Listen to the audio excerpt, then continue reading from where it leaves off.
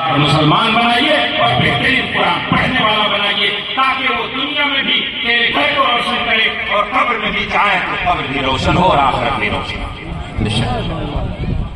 अब मैं पुराने मुकदस की आयत अगला हिस्सा फरमाया और नसलना अलैका किताबा तिबयान लिकुल शै व हुदा व रहमता व बुशरा लिल मुस्लिमीन.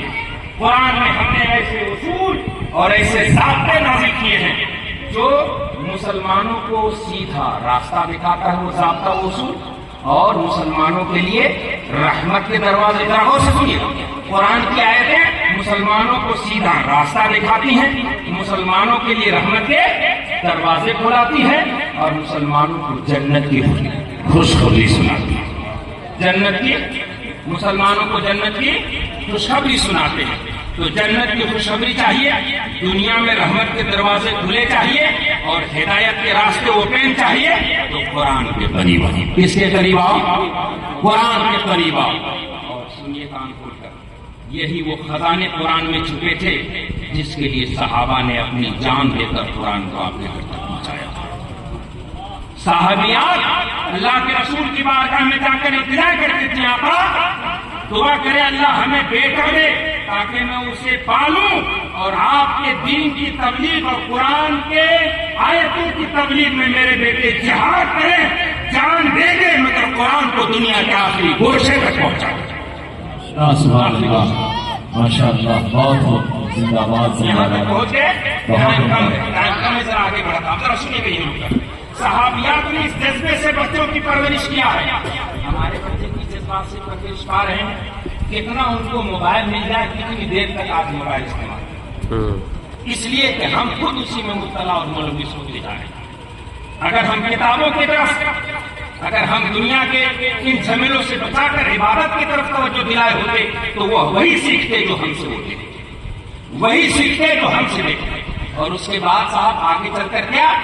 ऐसा मुआशरा और ऐसा माहौल क्रिएट कर रहे हैं कि गुनाह पर गुनाह ही होते जा रहे हैं। परवरिश में हमने उसूल का लिहाज नहीं किया, तालीम में नहीं लिहाज किया, अब शादी में भी मनमाना हो रहा शादी में मनमाना साहब बारात दो सौ जहेज, चार लाख। अर्ज़ करना चाहता हूँ, कितनी खराबियाँ बढ़ती चली जा रही हैं। जरा उस तरफ़ ना जाकर जहन कोई रखे। कुरान ने क्या कहा? सीधा रास्ता भी दिखाती कुरान की आयतें। रहमत के दरवाजे भी खोलती है और जन्नत की बशारत सुनाती बोले, खाजा इस्माइल चिश्ती के बारे में आपका क्या ख्याल है? जन्नती है कि नहीं? गरीब नवाज़ सरकार के बारे में क्या ख्याल है? जन्नती है कि नहीं? हिंदुस्तान में तो घर नहीं था इनका। ये तो ईरान से चलकर आए थे। क्यों? इसलिए कि कुरान के राह पर चले हैं और कुरान के ज़रिए रहमत के दरवाजे खुले हैं। इसीलिए जन्नत बशारत हासिल हुई। है अब मैं अर्ज़ करना चाहता हूँ एक दूसरी हदीस जो मैंने तिलावत की जरा तवज्जो दिल थाम कर सुने। अहले स्टेज से भी अदब के साथ गुजारिश अहले स्टेज से भी।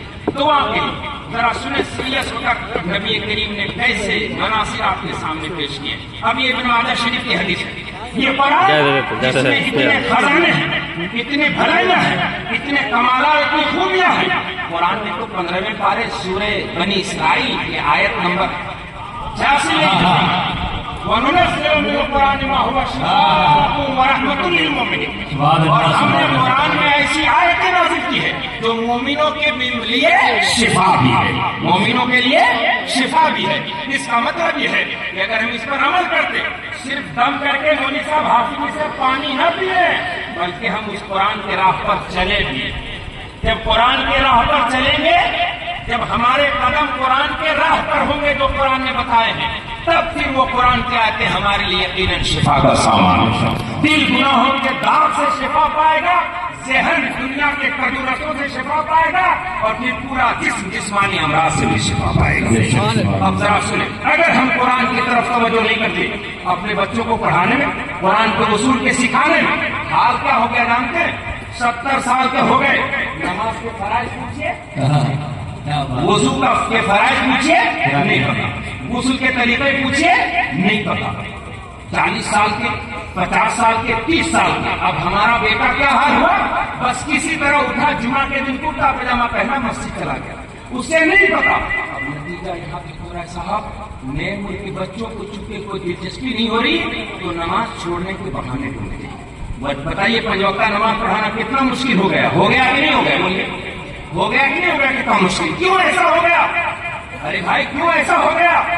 जो मुसलमान नमाज़ के लिए गर्दन कटाकर दूसरों तक नमाज़ का पैगाम पहुँचाने के लिए कराते थे, वो मुसलमान और उसके बच्चे गर्दन झुकाने के लिए कतराते ऐसा क्यों पहुँच गए? कहाँ क्यों पहुँचे ऐसे हाल में? इसलिए इस्लाम की अहमियत सुनिएगा, सीरियस होकर। इस्लाम की अहमियत, कुरान की आयतों की अहमियत इबादतों की अहमियत हमारे नज़र में अगर उस दर्जे पर होती, जहाँ सहाबा की नज़र थी तो हम नमाज़ से हमारे बच्चे कतराते नहीं, बल्कि पंचवक्ता नमाज़ के अलावा जैसे अलिया कराम चांस भी पढ़ते इशराक भी पढ़ते अवाली अवाबी भी पढ़ते तहजी भी पढ़ते थे, कम से कम हम और हमारे बच्चे पंजाना नमाज़ को पढ़ा करते थे जिनके हाथ में हिंदुस्तान की बादशाह थी उनमें से एक का नाम शमसुद्दीन अल्तमश क्या नाम है? शमसुद्दीन गैर मुतसिम हिंदुस्तान के बादशाह बांग्लादेश और जनाब हमारे करीबी मुल्क ये अफ़गानिस्तान का एक मुल्क हिंदुस्तान में शामिल था। इतने बड़े मुल्क के बादशाह का नाम शमसुद्दीन अल्तमश जरा सुन की पाबंदी का आलम जब हज़रत खुदुद्दीन बाख्तियार काफ़ी का विशाल हुआ तो उन्होंने जहाँ बहुत सारे शराय रखे थे अपने नमाजे जनाजे की इमामत के लिए, वहीं एक शर्त रखा था जिसकी आसर की सुन्नत फजा न हुई क्या? जिसकी आसर की सुन्नत फजा न हुई हो लोग आ गए बड़े बड़े लोग हाजिर हैं जनाजे में खुदुद्दीन बाख्तियार काफ़ी का जनाजा है। जनाबे वाला इन्होंने कहा मेरे मुर्शिद करामी ने जहाँ और शर्तें रखी वहाँ एक शर्त ये भी है जिसकी असल की सुन्नत खजाना हुई हो कभी लाई पूरे मजमे पर सन्नाटा तारी है। कोई आगे नहीं बढ़ रहा है नमाज़ जनाजा को।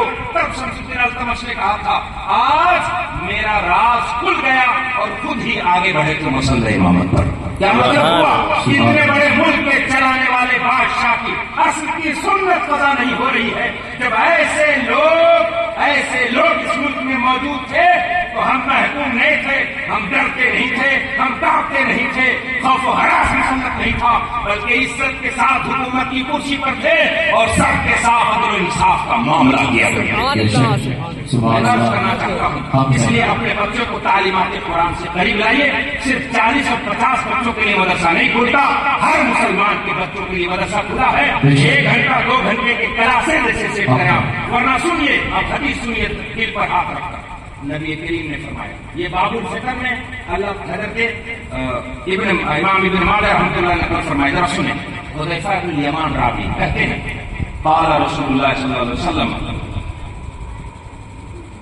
यद रसुल इस्लाम कमा यद रसुल वशी सौ। इस्लाम से जो हमारा आपका रिश्ता हो गया उसको जरा सामने रखिए। और फिर आगे क्या होगा उसको जरा इमेज कीजिए अंदाज़ा करिए और ये हदीस सुनिए। नबी फरमाते हैं एक जमाना ऐसा आएगा कि इस्लाम इस तरह लोगों के लिए पुराना हो जाएगा जैसे कि कपड़े के डिज़ाइन पुराने हो जाते हैं। कॉटन की चादरें देखी है धुलते धुलते उसके डिज़ाइन मेरे लिए दुआ करें, अल्लाह ताला हमें पहले अमल की तोफीक दे नबी फरमाते ये किस्सा नहीं है, ये कहानी नहीं है, रिवायत इमाम का कौल नहीं, मुश्तहिद का फरमा नहीं। रसूलुल्लाह का फरमा फरमाते यद रसूल इस्लाम कमा, यद रसूल वशी इस्लाम ऐसा लोगों के जहन से हल्का हो जाएगा, मिटने लगेगा, जैसे कि पुरानी चादरों से उसके डिज़ाइन मिटने लगते सुनिए आगे सुनिए। फरमाते, हत्ता ला युद्रा माँ सौन, वला सया माँ सला सयाम वला सलात वला नसक वला सदक। यहाँ तक के लोगों को ये भी पता नहीं हो रहेगा कि नमाज़ क्या है, रोजा क्या है, कुर्बानियाँ क्या है, ये सदका क्या है। आगे सुने दिल पर हाथ रखकर, कुरान से गफलत करने वाले ऐसे ये फौज का मसला थोड़ी सवाल हो गया। ऐसे ही किसी जालिम की आवाज़ इतनी थोड़ी तेज हो गई है। ऐसे ही कहीं से तुम कमज़ोर थोड़ी हो गए तेरे लिए तो कुरान ने फरमाया वला तहन वला तहसन वान तुम तुम तुम मुझे कमज़ोर तुझे सुस्त करने की क्या ज़रूरत है? तुम ही सबसे ऊँचे मरतबे पर हो अगर मेरे दिल में दौलत ईमान तुमसे ऊँचा कौन तुझे आप दिखाएगा? कौन तुझे लेकिन दौलत ईमान क्या होना चाहिए।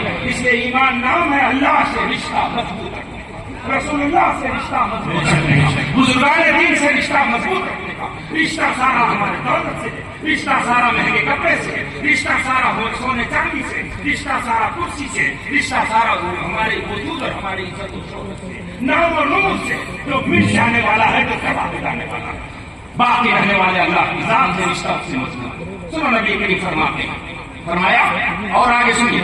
फला तब वला युसरा अला किताबिल्लाह अज़्ज़ा व जल्ला फ़ी लैलतिन और एक ही रात अल्लाह इतनी जल्दी फरमाएगा फला तब का मिन हो आया फिल अर्द। ज़मीन में कुरान की एक आयत भी अल्लाह बाकी नहीं रही कुरान से गफलत करने वाले सीने में दिल है कि पत्थर है? करबला वालों के नाम पर आँसू बहाने वाले। बदरो हुनैन और खंदक में शहीद होने वाले को याद करके दिल को गम लगा करने वाले। पहले सोच के बदर वालों ने अपनी जान की गवाही दी थी। पहले सोच वालों ने अपनी जान की कुर्बान की थी। पहले सोच करबला वालों ने अपने बेटों को कटवाया तो था मैदान करबला में। तो जवाब होगा कुरान की अजमत की हिफाजत के लिए। कुरान की कुरान के कमालात को बाकी रखने के लिए। तो बोल हमारी और तेरी औलाद एक दो घंटा कुरान समझने सीखने में नहीं देगी तो उनके जहन से कुरान के तालीमत मिटेंगे की बाकी है? जल्दी बोलो मिटेंगे की बाकी है? मिटेंगे की बाकी रहेंगे यही तो नबी ने कहा था वला युसरा अला किताबिल्लाह इतनी जल्दी अल्लाह फरमाएगा एक रात में पूरा कुरान ज़मीन से उठा लेगा एक आयत में। जब तुझे कुरान की ज़रूरत नहीं तुझे नाच गाना पसंद है कुरान तेरे भी रहेगा इसलिए काफ़ी तू चालीसवां पढ़ता तो जन्नत की जमाना इसलिए बाकी रहेगा कुरान तेरे इसलिए दर्द के साथ इंतज़ार करता हूँ। फलान सेट कीजिए बैठिए प्रोग्राम कीजिए जैसे अलामा नजम साहब की सरपरस्ती मुफ्ती साहब की सरपरस्ती लीजिए और अपने एक एक बच्चे और बच्ची को तजवीज के साथ कुरान पढ़ाने का प्लानिंग सेशन करेंगे इंशाल्लाह करेंगे इंशाल्लाह क्योंकि अगर ऐसा नहीं करेंगे तो उसके बाद ही क्यामत के मंजर है जरा आगे सुनिए हदीस फरमाते रसूल करीम व तुबका व तबका तवाइफ मिन अन्नास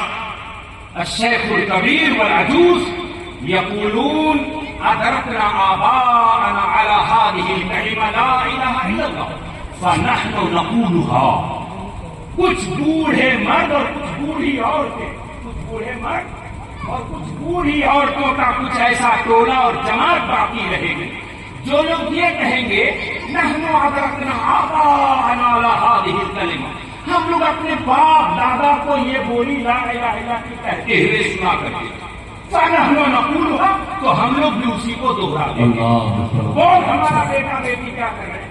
क्या कर रहे हैं हमारे बेटे बेटी? यही नहीं कर रहे हैं कि निकाह पढ़ाने पूछिए लमा नजमनी साहब से। निकाह पढ़ाने जाए तो कलमा हिज्जे पढ़ाना पड़ता है। सच है नहीं करो? दो सौ बारात लेकर गए बेटे को कलमा भी नहीं सिखा सके। एक गरीब बेटी के हमें कभी चार दिन पहले दिन ताली कर रहा था।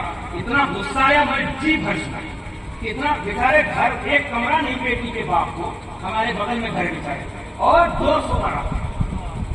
इतनी तकलीफ़ मैंने कहा, आपसे पुराने ताल्लुकात है, लेकिन आपको हया करनी चाहिए कि ये तर्क है। ऊपर से होटल से शादी होनी चाहिए। कलमा पढ़ाने की बेटे को तोफीक ने होटल से शादी करवाई हाथ जोड़कर इतला करता हूँ, दिल में जरा जुमले उतरने दीजिए। मैं कहानी नहीं, डर के दिल आपकी खिदमत में नज़र करने आया हूँ। किस्सा नहीं वाकई हाल आपकी खिदमत में करने आया हूँ।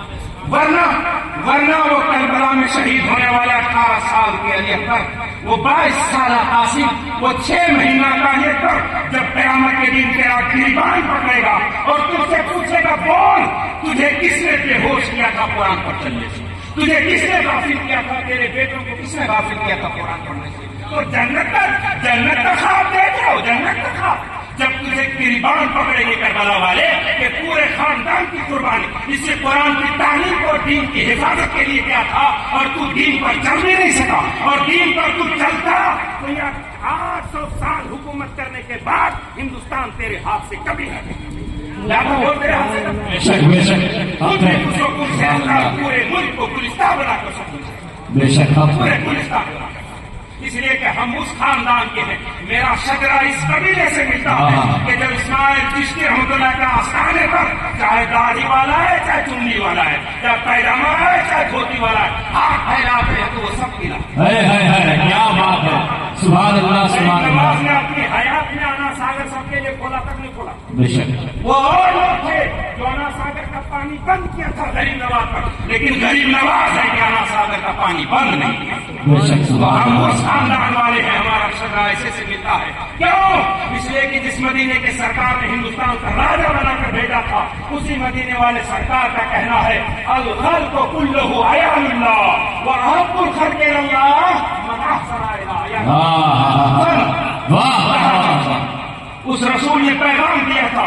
क्या पैगाम दिया था? अल खल को कुल्लू आया इंसान हो चाहे जानवर। सब के सब अल्लाह का कुंबा है। क्या है अल्लाह के फैमिली मेंबर्स है ये सब। आगे फरमाते हैं आप। वहाबुल खाल के अल्लाह अल्लाह के मखलूक में सबसे अच्छा वो है जो अल्लाह के मखलूक के साथ भलाई। अल्लाह के मखलूक के साथ तो सरकार इसराइल चिश्ती रहमतुल्लाह के आस्थाने पर से हाथ फैलाकर भला इसलिए उठाते हैं कि वो सबका भला करने वाले हैं। बोलिए सबका भला तो हम किसी एक का नहीं सबका भला करते हैं। इसलिए हम कहते हैं कि सबका भला कर रहे थे। अजीजों अब मैं इजाज़त चाहता हूँ हमारे मेहमान बैठे हैं उनसे भी सुनना है। इल्तिजा है आपसे दर्द के साथ। ये जो नबी करीब ने इरशाद फरमाया कि ऐसा जमाना आएगा कि इस्लाम लोगों के जहन से ऐसा पुराना हो जाएगा। उसके निश- निशानात ऐसे ही मध्यम पड़ जाएँगे, हल्के हो जाएँगे, जैसे कि पुरानी चादरों से उसके डिज़ाइन हल्के हो जाते हैं। अगर आपको लगता है कि नबी करीम का ये फरमान आपके दिल तक पहुँच गया है तो कल से आपकी ज़िंदगी में चेंजिंग देखनी चाहिए। जलसा नारे का नाम नहीं है।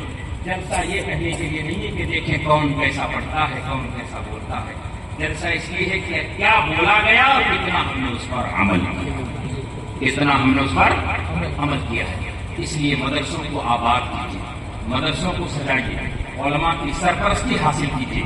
और ओलमा से करीब आकर इसलिए मत करीब आइए कि जनाब ये दुआ कर देंगे तुम्हारे यहाँ हीरे जवाहरात बरसने लगेंगे। नहीं ये तो यकीन है कि दुआ करेंगे तो ज़रूर कुछ ना कुछ आपके लिए नेकी के दरवाजे खुलेंगे बेशक। जितनी देर तक बैठे रहेंगे ज़रूर कुरान की आयतें या हदीस सुनेंगे।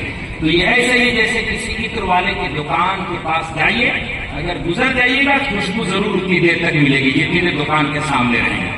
और अगर वहाँ ठहर जाइएगा तो जब तक इधर वाले की दुकान पर रहिएगा बगैर पैसे की खुशबू आपको ज़ोर से बोलिए मिलती रहेगी। और अगर के एकादशी खरीद लीजिए तो जहाँ जहाँ जाइएगा वहाँ वहाँ खुशबू महकती है। खुशबू। तो ओलमा से करीब रहिए हमारे घरों से दीन की खुशबू इसलिए हल्की हो गई कि इनसा रिश्ता मेरा हल्का हो गया। इनसे रिश्ता मेरा कमज़ोर हो गया। रिश्ता मज़बूत कीजिए। इसलिए आला हज़रत ने कहा था, लहद में चले अंधेरी रात सुनी थी लेके चले। हमने ने, या तेरे गुलामों का नक्शे कदम है, राहे खुदा, वो क्या बहक सके जो ये सुराग लेके चले? सब कते लिसानी खता से तौबा। अस्तगफिरुल्लाह अस्तगफिरुल्लाह रब्बी मिन अतूबु इलैह मा आलिम अल अस्सलामु अलैकुम व रहमतुल्लाहि तआला व बरकातुहू।